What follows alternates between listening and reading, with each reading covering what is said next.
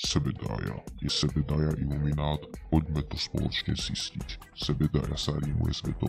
Čaute cikoši, kúpil som vám papagája. V slove papagáj nájdeme slovo gay, čiže po anglicky gay.